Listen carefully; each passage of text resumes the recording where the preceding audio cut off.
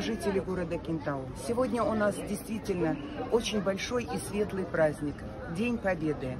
Мы благодарны ветеранам войны, что мы живем под мирным небом, что растут под мирным небом наши дети, наши внуки.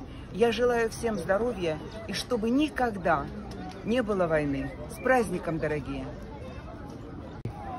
Поздравляю всех жителей города Кентау, гостей, всех, кто живет в городе Кентау. С Днем Победы, с Днем Великой Победы.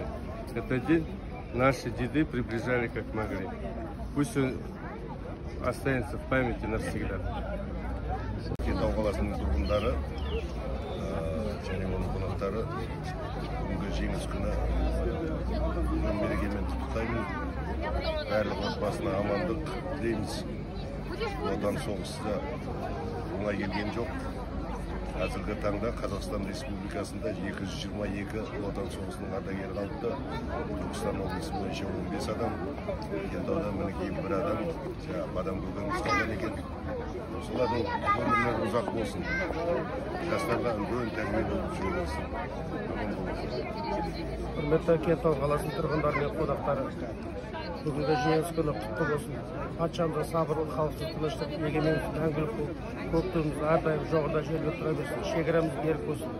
Мереке құтты болсын.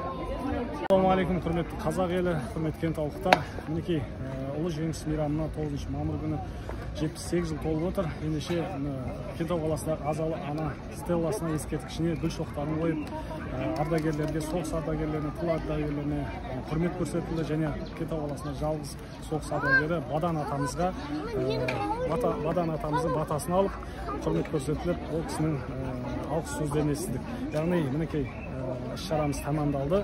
Осы ұлы жеңіс үшін баз кешіп жан қиған ардагерлерімізге әрқашан құрмет көрсетейік. Бұл жеңіс оңайлықпен келген жоқ және осы жеңісті ұлықтап келер ұрпаққа амандықпен жеткізуіміз керек. Сіздерді де жеңіс мейрамымен шын жүректен құттықтаймын. Жеңістен жеңіске ұлы жақсы күндерде жолыққанша құрметті кентаулықтар барлықтарыңызды шын жүректен ұлы жеңіс мерекесімен құттықтаймын. Дендеріңіз сау болсын. Жаңа жоғарыда айтып өткен ағаларымыздың тілектеріне қосыламын. Жеңістен жеңіске жете берейік. Ардагерлеріміз дендері сау болсын. Қаламызда елімізде тыныштық болсын. Мереке құтты болсын.